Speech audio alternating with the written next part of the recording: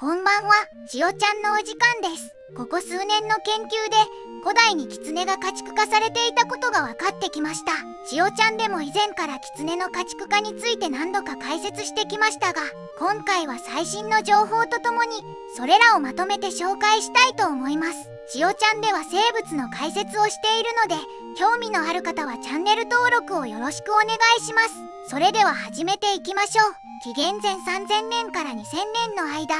イベリア半島北東の広範囲にわたる地域で人間と動物を一緒に埋める葬儀の習慣がありました。家畜と一緒に人間を埋葬することは青銅器時代初期から中期に急増し一般的な葬儀の慣習となっていました。青銅器時代とは青銅で作られた工芸品が主要な道具として使われた時代のことです。ヨーロッパの青銅器時代は紀元前3000年頃から始まり紀元前800年頃まで続いたとされます。青銅器は西アジアから伝播し交通や貿易の発達を促しました。家畜と人間を一緒に埋めていた地域の中でもバルセロナのカンロケタとリエイダのミンフェリという場所では4匹のキツネと多数の犬が人間と共に発見されています。科学者はこれらの骨を調べることにより埋葬された動物の食事を飼い主の食事と比較することができました。合計37匹の犬19頭の牛や羊などの家畜動物64人の人間が分析されました。結果犬と人間が同じようなものを食べていたことが分かりました。一方他の家畜動物たちは人間とは異なるものを食べていました。そして狐の骨を調べてみると驚くべきことに彼らも飼い主と同じようなものを食べていたことが分かったのです。このことから犬と共に狐が家畜化されていたと推察されます。犬の骨は重い物体の輸送のため脊柱の障害があったことから古代の人々は刺激犬として利用していたと科学者らは推測しています。このような荷物を運ぶために使用された大型犬と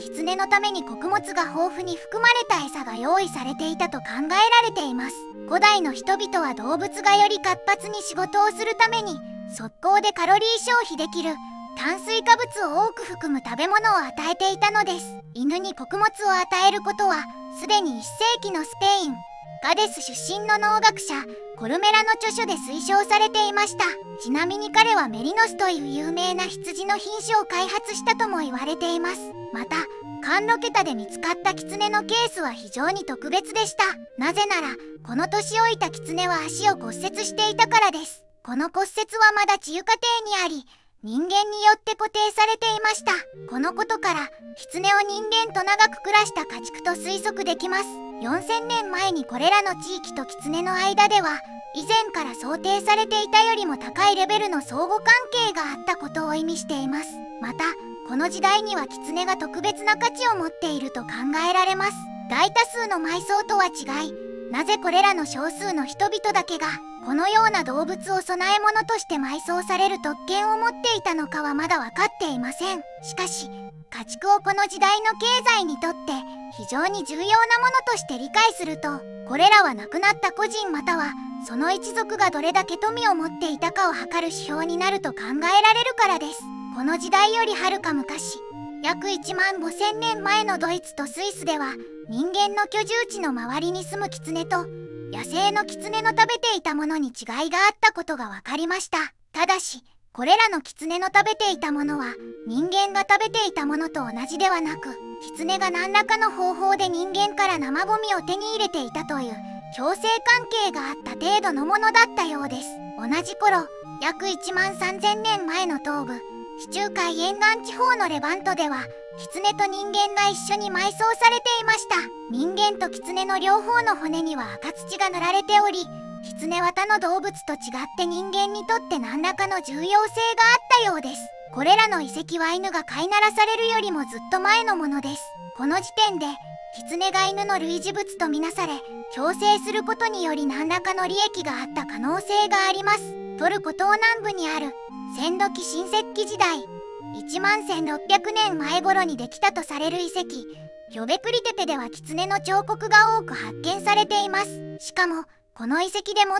大きな大黒柱や正門の左右両側などの重要な部分に刻まれているのです。このことから狐はこのギョベクリテペに住んでいた人間にとって重要な動物だったと仮定できます。ギョベクリテペでは様々な種族や土着のグループが集まって居住していたと考えられています。そしてそれぞれの種族が自分たちの独自の動物を模した紋章を持っていました。これらの動物はスピリチュアルな重要性を持っていて種族の民を守ってくれるような存在だったのかもしれません。また遺跡にはヘビやサソリなどの人間にとって有害なものも掘られています。そしてこれらは狐と共によく刻まれています。多くの狐はヘビを積極的に狩ります。このことからギョベクリテペでは狐がヘビなど害獣を狩るため飼育されていたことが推測されます。狐は非常に順応性の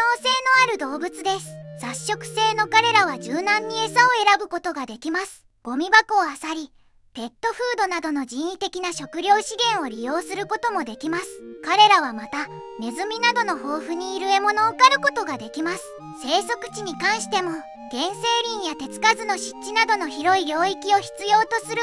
一部の種とは異なり狐は様々な場所に容易に適応する。ことができます過去の狐が人間の居住地の近くに住んでいたのか意図的に飼育されていたのかどうかにかかわらず現代でも都会に住む狐は多く見られます。これらの都会の狐は人間活動との接触が増えたことで自己家畜化している可能性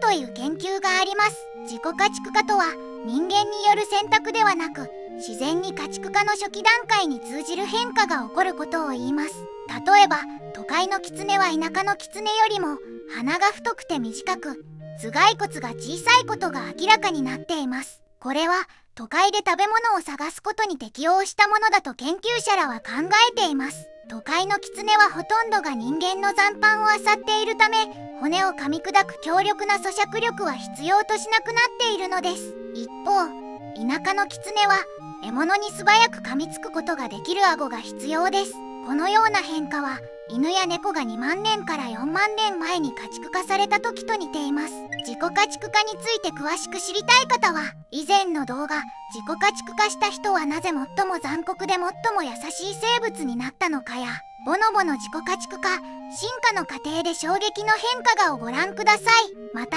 シベリアで現在も続いている実験でも同じような変化が見られました。この実験では1959年からロシアの研究者が攻撃性の低い個体を交配することで犬のように従順な銀狐を作り出そうとしました。実験の進行とともに銀狐は攻撃的な行動が減少し鼻は短く太くなり耳は垂れ下がり犬が吠えるような声を出すようになっています。狐の家畜化実験について詳しく知りたい方はの動画実験狐の家畜化実験で衝撃の結果がをご覧ください。概要欄にリンクを貼っておきます。都会に住み着いた狐は多くは歓迎されていません。狐と共生することは必ずしも容易ではなく彼らはゴミ箱を散らかしたりポーチや小屋の下に巣穴を掘ったりするからです。また狐が人間とペットの健康と安全に影響を与える可能性があることが懸念されています。人犬。猫に対してキツネが攻撃することは稀ですがキツネは狂犬病やその他の病気を持っている可能性があり人や大切なペットに感染する恐れがあるからです。しかし都市部やその周辺にキツネが生息する記録が多いフィンランドではキツネがペットとして飼われていたという報告もあります。例えば1921年に狐がトルク市の兵舎でペットとして飼われていました。歴史上同様のことが起こっていたことが容易に想像がつきます。狐が家畜化されていた理由は人間と一緒に埋葬されていた数々の例から祭祀的な意味合いで飼育されていた可能性や富の象徴やコンパニオンアニマルとして飼われていた可能性があります。またピョペクリテペのように害獣を狩るためとも考えられます。ですが私たちの祖先がなぜ狐の家畜化を放棄したのかという謎はまだ解明されていません。犬や猫の方が人間にとってより有益だったためかもしれませんがただエキノコックスは犬も保有しうる寄生虫なので狐の家畜化を放棄した理由にはならないと思います。日本のエキノコックスの感染源は1924年からの3年間に千島列島のシムシル島からレブン島へ毛皮や害獣駆除のため移入されたキツネに寄生していたものと考えられており人為的に持ち込まれました。エキノコックスの収縮種はキツネや犬などの犬科動物です。そのため北海道は島内の全ての犬猫及びキツネを解剖検査し収縮種動物を全て取り除くことで島内における流行を収束させています。一方1965年に根室市でも感染が報告されました。この新たな流行が人為的なものかは明らかではありませんがこれについても人が関与したものと考えられます。そして1993年にはほぼ北海道全域への流行の拡大が確認されることとなります。北海道に生息していたイヌ科のエゾオオカミは1896年から1903年の間に絶滅しています。また北海道には多くのキタキツネが都市部周辺に生息することからキツネイコールエキノコックスというイメージがついてしまいました。ですからキツネが必ずエキノコックスを持っているとかキツネが他のイヌ科動物よりエキノコックスを保有しやすいといったものではありません。愛知県では2014年から知多半島で捕獲された野犬の中にエキノコックス感染が確認されています皆さんはどうしてキツネの家畜化が放棄されたと思いますか？コメント欄にてご感想をお待ちしています。ご視聴ありがとうございました。この動画が面白いと思った方はいいねチャンネル登録よろしくお願いいたします。ではまた次回のジオちゃんでお会いしましょう。